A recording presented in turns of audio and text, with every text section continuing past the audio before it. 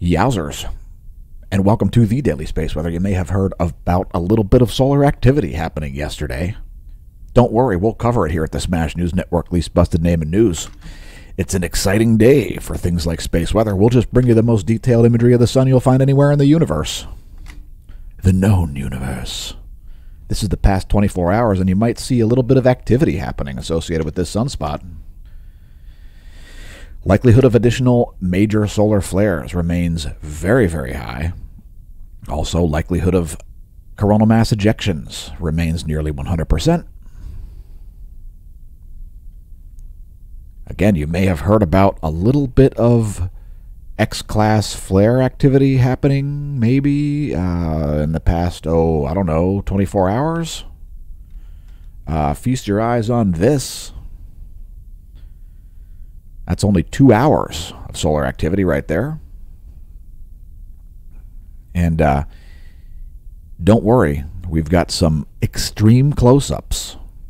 That's only 10 frames per second. We usually show 30. Let's take a look at yesterday plus today in terms of SDO intensity gram. So there are your sunspots. They've been mostly stable. A little bit of growth in this group down here in the north, well, the south, well, the southeast here, right there. There you go. Right there. A little bit of growth there. Besides that, most of these sunspot groups have been stable.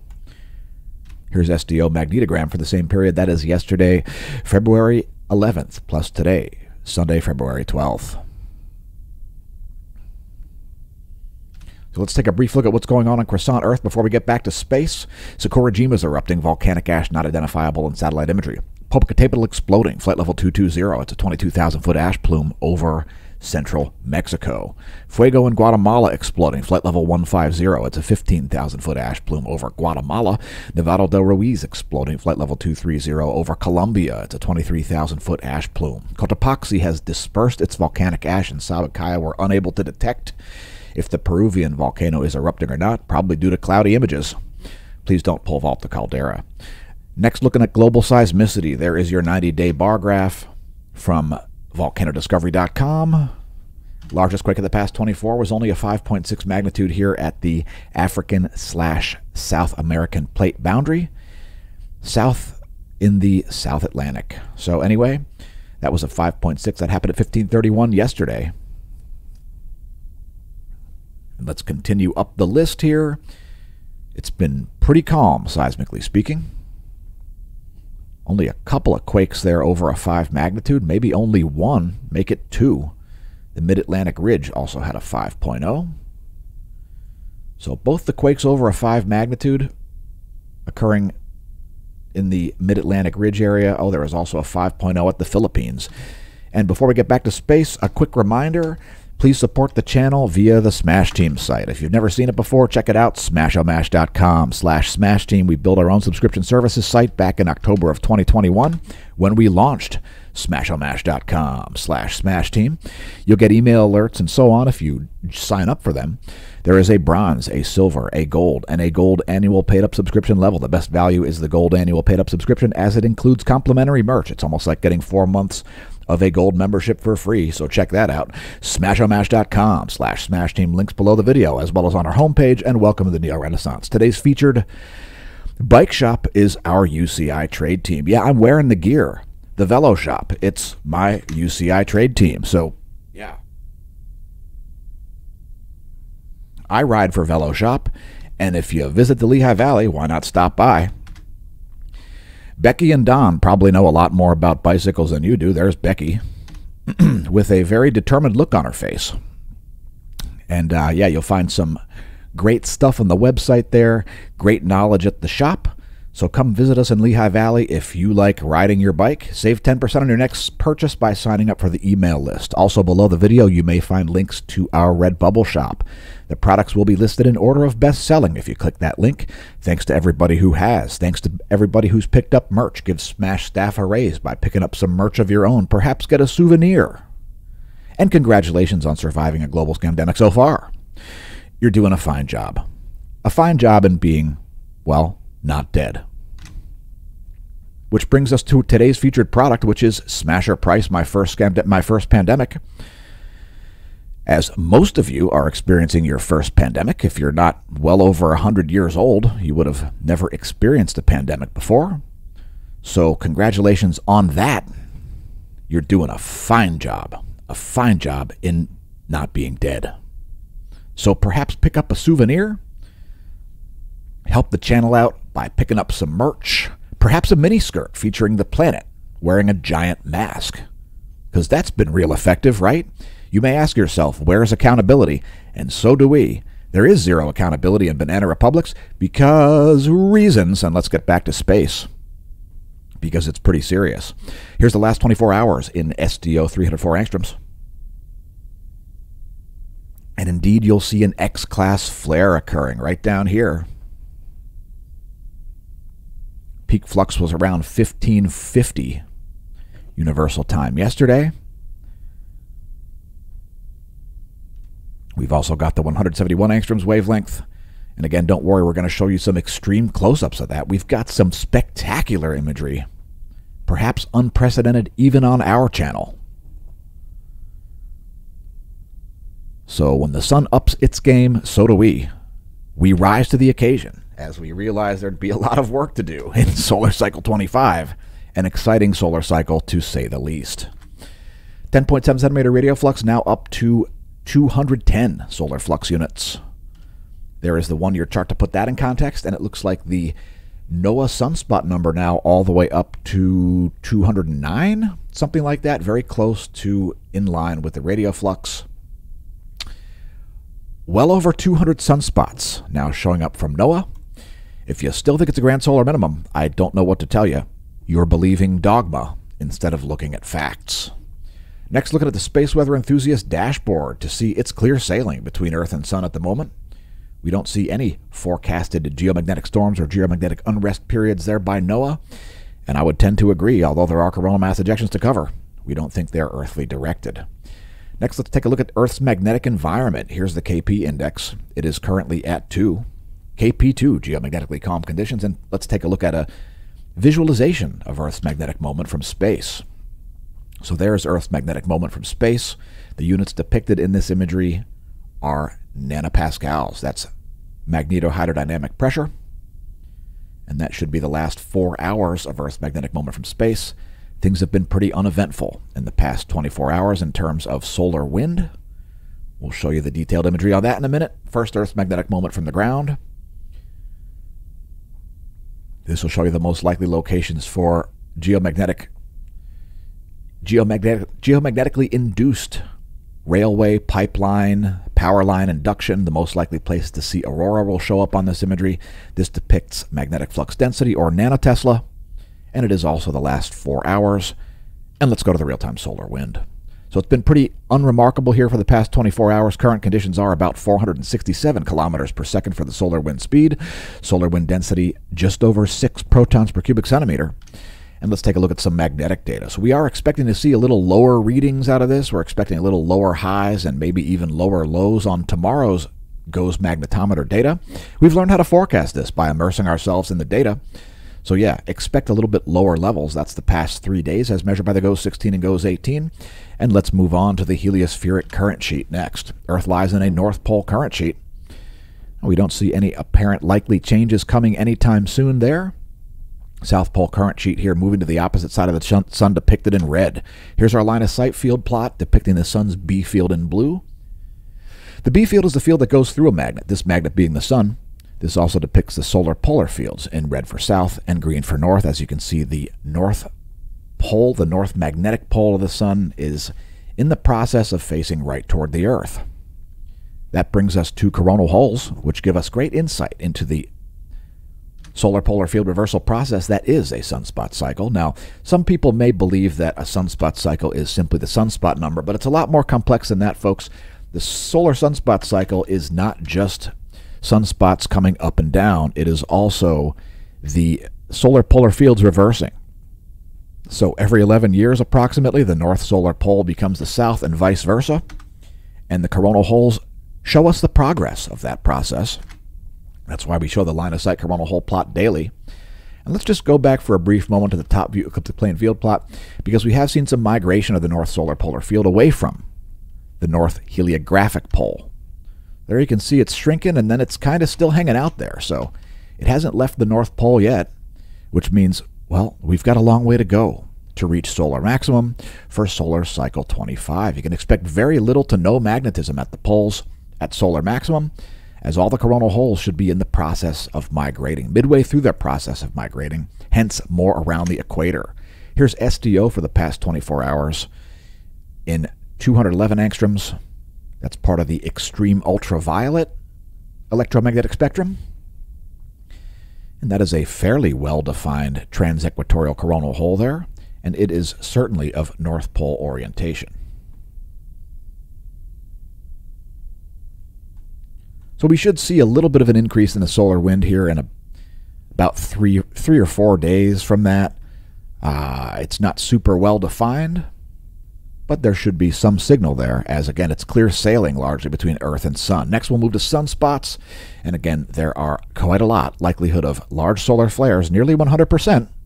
Don't be surprised to see additional X class flares. We've got a very magnetically complex group setting up here in the northwest that increases its propensity to produce large flares. And of course, the main, the largest flare has been an X class flare in the past 24 hours. That was from sunspot 3220. And you can see the likelihood of an X class flare there going up above 60% at one point during that flare probability monitor. And let's take a look at sunspots before we move into the real money shots of this video. So there's your SDO magnetogram for the past 24 hours. Again, things mostly stable except for the growth of this sunspot down here. So there's some major leading umbral growth there on that group in the south. You can see it in the magnetic fields. You'll see it also in the SDO continuum imagery. Good stuff. And several sunspots there larger than the Earth, at least in terms of their two-dimensional size. And next we'll move to uh, relativistic particles and solar flares, which will be the story of the day all over the internet. And approximately 14 people will actually see our video. Don't forget to press like, by the way. If we see 50 likes, we will do a live stream later today. Those 50 likes have to come in on the same calendar date the video was released. Anyway, no major spikes in the energetic particles there. Just a tiny little upticks there in the GOES proton flux, nothing to write home about. However, the X-ray flux did feature a significant flare of X-class. It was only an X1 flare, however. Uh, that's been the largest flare for quite a long time. That's your three day GOES X ray flux. Let's bring up the one day just to show you a little more resolution there. Again, peak flux was around 1550 universal time yesterday on the 11th. And we're having an M class flare happening, at least an M class flare happening as we stream the video. And let's take a look at some 24 hour views. There's 131 angstroms for the past 24 hours. We'll also show 94 angstroms. And then we'll do some serious zoom ins. And you, you will be impressed, I promise. So that's 94 angstroms for yesterday, plus, well, the last 24 hours from when we streamed the video approximately. And here are some money shots. That's only two hours of activity. We've slowed that down to one third normal speed. That's 10 frames per second instead of 30.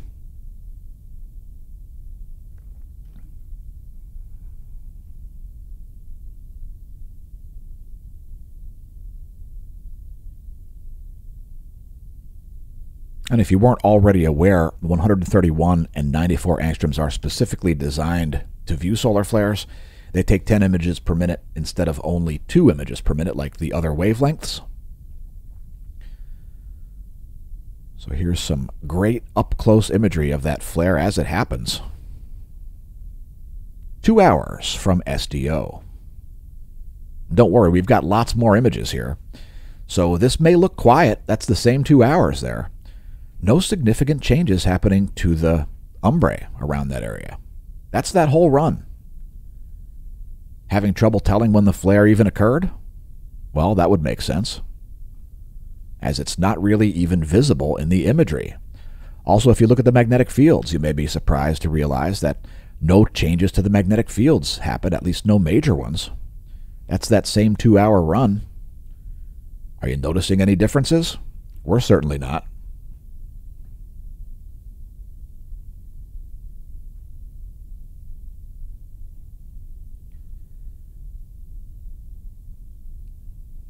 We've got even more fantastic imagery here.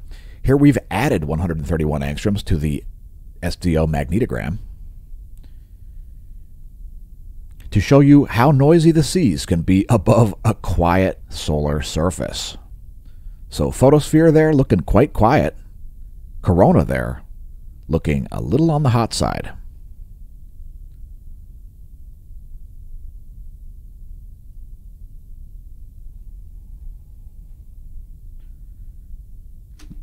Next we've got, let's see, this is 171 plus 304 angstroms. You can see a bunch of plasma moving around there. We'll let that play through a second time, and then we'll zoom in even closer. So no major CME associated with that, if any at all. It looks like most of the plasma either stayed suspended or collapsed back down. It'll be a little more obvious in this imagery. That's 171 plus 304 angstroms.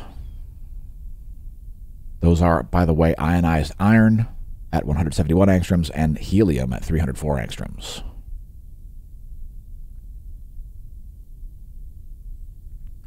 So, how you like them apples? Here's 304 angstroms by itself. Just the ionized helium.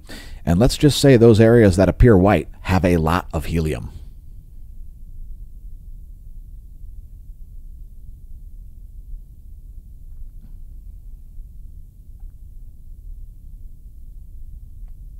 And that, my friends, is some spectacular imagery.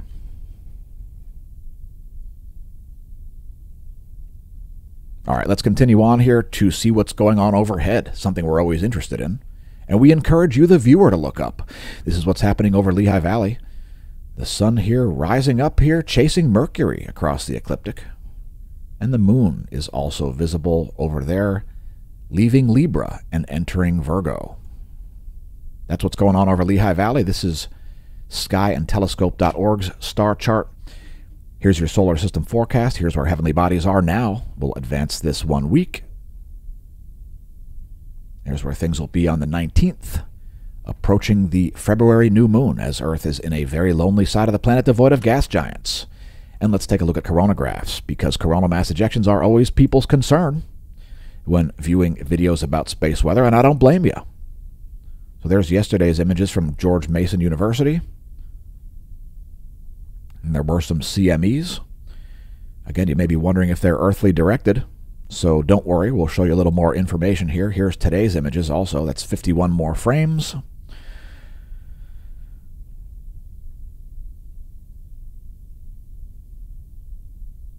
And let's take a look at the view from Stereo A and the Soho Lasco C3. Now, if you're a new viewer, congratulations on realizing the channel exists. We're surprised. From Stereo A's perspective, Earth would be off in the direction of that purple arrow. So any coronal mass ejections would have to be on that line. And then typically we would see them creating a halo around the Soho Lasco C3. We don't see any of that, which is why we don't think any of those coronal mass ejections are earthly directed. So based on the imagery we have here, no Earth directed coronal mass ejections. Here's the past 24 hours. And uh, some CMEs on the far side of the sun there, and so on. Thanks for asking about hitting the bunkers, Mike. And the answer is uh, uh, no, it's not time to hit the bunker, especially if your bunker's not the right depth. I mean, your bunker's got to be just the right depth, folks. If it's it's got to be deeper than a basement and shallower than a than a super fortress style military bunker. It's got to be somewhere in the middle, according to certain utter hacks on uh, YouTube talking about space weather. How about if we zoom in a little bit closer? So a bunch of CMEs there, they're not earthly directed. They're on the far side and pretty much going every direction besides at Earth.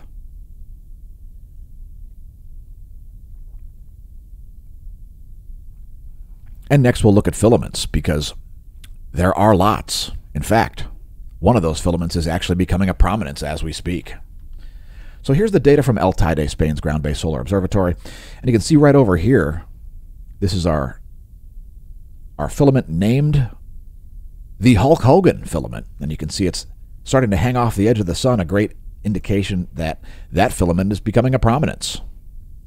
Really, they're the same feature, folks. It's just a matter of the location and your perspective. So anyway, we've got a bunch of filaments that we could name here. We've got this one here, the three down here, four down here, five down here. Uh, lots of filaments. So if you'd like to name filaments, join us on Twitter to name that filament. You're invited to mark up the image. You know, use your smartphone, take a screenshot of it, edit the photo, things like that. Join us on Twitter, since there are approximately four people that see any of our tweets ever, since the pathetic and putrid shadow bans continue on all of the social media sites, not just Elon's putrid Twitter site, but all of the putrid sites, quote, social and quote media. What a joke. Anyway, once again, you're invited to, because of space weather, name that filament. We name filaments after living humans on the channel. So if you've got somebody you'd like to name filaments after, feel free. You got to do it on Twitter. If you don't have a Twitter account, why not create one? You'll see all kinds of stuff not about space weather and meteorology on our Twitter feed. Press like and subscribe if you enjoy the content on YouTube. Yes, I know. The censorship is utterly putrid on YouTube. It's utterly putrid and disgusting. And of course, propaganda, nonsense, and fraud are promoted to the tune of probably billions of dollars per year. If we do get 50 likes throughout the day today, we will do a live stream. So press the like button. Yesterday, when we looked at this morning's stats, we saw 180 views on yesterday's video and 49 likes. So, yeah, uh, no live stream occurred yesterday. If we see 50 likes throughout the day today, we will stream live. Support the channel via clicks via the homepage, smashomash.com. You can find links to the Hemp Lucid shop.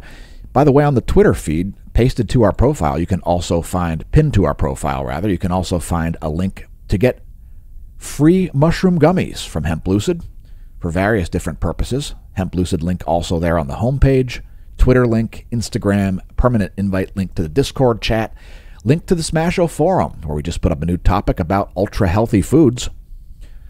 So yeah, thanks to everybody who's helped the channel out. We launched our own website in 2019 because of pathetic and disgusting censorship on Facebook. And then we watched their share price decline. So that was that was great. You know, we said, "Hey, middle finger to you, up yours, Facebook." And their share price went down and down and down, and now they're still trying to create a virtual universe as if gaming didn't do that decades ago. What a joke as they operate 20-year outdated software. If you haven't checked out the Hemp Lucid shop, it's our latest and perhaps our greatest affiliate slash sponsor. So again, you can find the free link, the free mushroom gummies link. No shipping or credit card required for that on the Twitter page. And save some cash by using the promo code SMASHOMASH10 on checkout or just shop via our link. People very impressed by the products. More product reviews coming, and you can find playlists about that on the YouTube channel as well. And let's return to space once again. Here's the past 24 hours in one of our new house favorite composites. This is 171 plus 131 angstroms. And it's time for our bonus features, right after we show the past couple of hours here from the GOES 16 SUVI. So this is what we like to stream throughout the day because it's so good at showing coronal mass ejections. With its wide field of view, it shows the extended corona in ionized helium. You can also find some other wavelengths there if you like on the Space Weather Prediction Center's GOES 16 SUVI page. And that latest M-class flare, where did it come from? Let us know in the comments what you think. Uh, uh, oh, it came from up here. All right, so there we go. One of those setting regions producing an M-class flare. And here come bonus features. So satellite charging hazards here do exist. They're of the low energy electron variety building up on the surfaces of satellites in the central Pacific Ocean at the moment. No major charging hazards. Here is your GOES electron flux over the past three days here, just reaching up toward warning levels there, which is, that's showing particles. It also coincides with 1,000 pulse flux units. Sometimes we send out alerts about this if it's going to be an issue with communications. Sometimes high electron flux can cause some issues with communications, and of course, can damage satellites. There's your NOAA forecast, expecting relatively flat levels of electron flux here for the next three days. No argument from me there. Here's the one-year chart to put that in context. The relativistic electrons. Those are located. Those are measured at the F layer of the ionosphere. So let's show that next. That's located at about 300 kilometers of altitude, and here is the vibrational frequency of the bridge between Earth and space.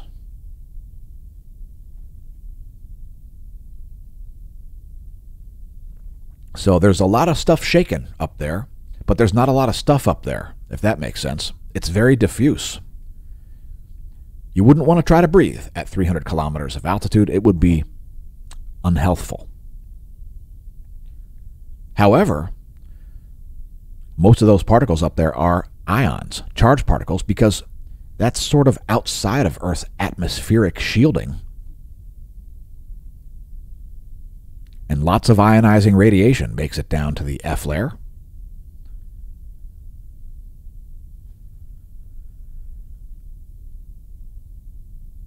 We've been citing some interesting anomalies in this for the past couple of months. Here is your anomalygram. That's anomaly in megahertz from a 30-day median.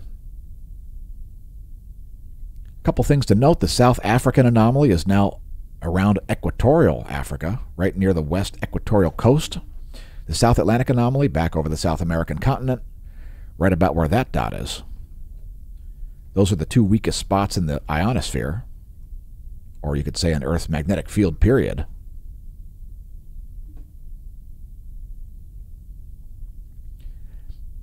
Anyway, here's the latest image. That's 1345 universal time ionogram and 1345 universal time anomalygram. High frequency anomalies happening here at the moment. Again, that's anomaly in megahertz from a 30-day median. And let's take a look at the likelihood of GPS errors, which have been quite high here for the past couple of months. The total electron content forecast is the coupled thermosphere, ionosphere, plasmasphere electrodynamics model. And what that ultimately means, folks, is that your GPS satellite must communicate through free electrons. So here you've got the outer Van Allen belt. Here you've got a plasmasphere. Here you've got the inner Van Allen belt.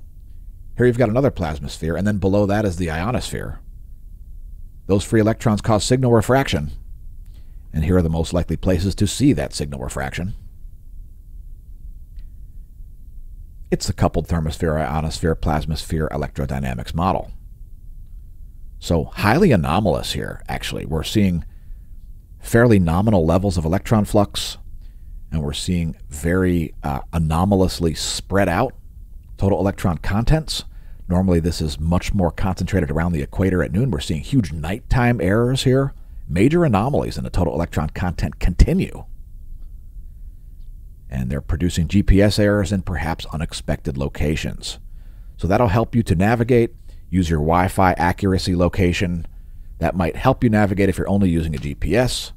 Let's bring up the latest image of the closest star. And thanks for stargazing with us. Here is the colorized magnetogram.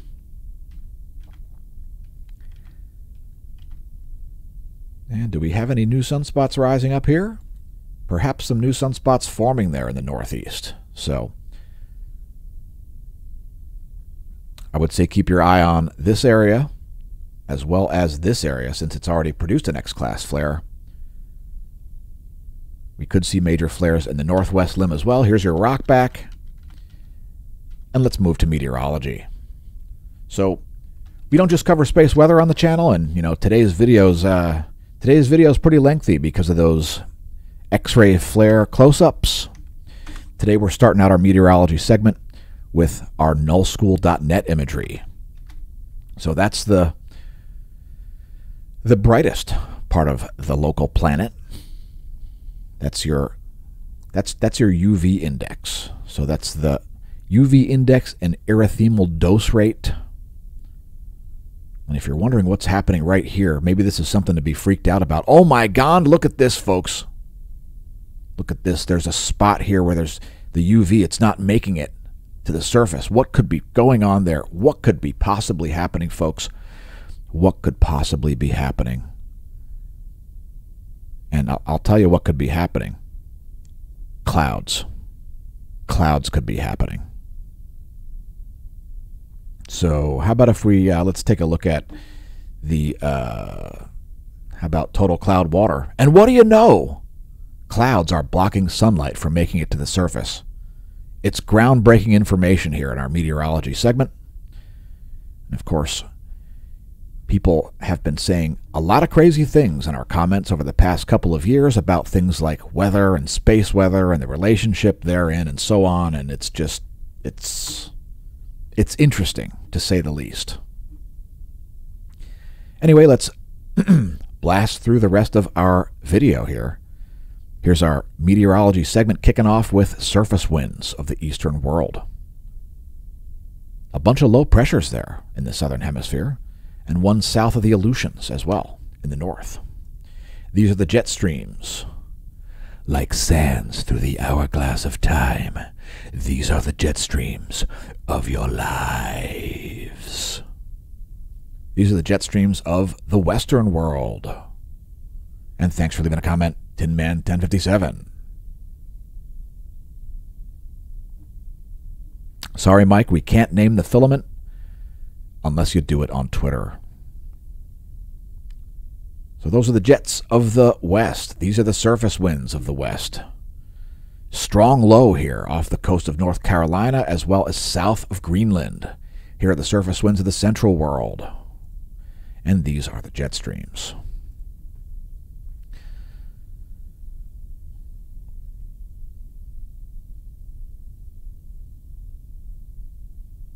Check it out. We've got a upper level high pressure system rotating clockwise there. It's almost like Jupiter's great red spot, only not great, not red, and not as strong. That clockwise rotation indicates an upper level high. And let's move on to see what's going on over the Americas in terms of clouds and fog. So that's 3.9 nanometer infrared radiation. Great at showing clouds and fog because half of that map would still be dark using the visible satellite.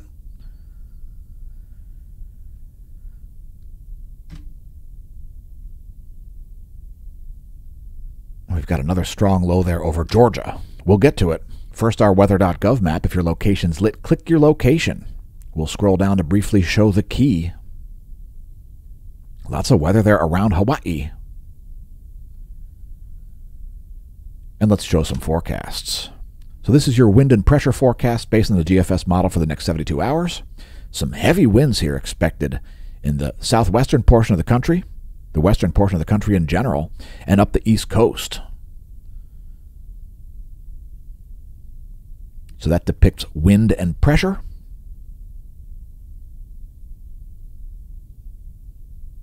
Here's the same model depicting pressure and precipitation. Again, 72 hour GFS model.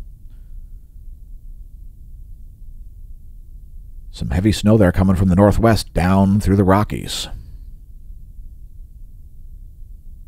And we'll also show temperature anomaly forecast as it feels like spring in many parts of the country. Some very warm weather there coming to Illinois, Indiana. At like 20 degrees Celsius above normal, that's your 72 hour GFS temperature anomaly forecast in degrees Celsius. And uh, west of the Mississippi, it's going to be less than warm. Anomalously cold in the left half of the country, and anomalously anomalously cold in the left half of the country and anomalously warm in the right half of the country. Continuing on to our current imagery. Let me just press refresh on that. Just give it a moment, as it's some great imagery here from Windy.com's visible satellite.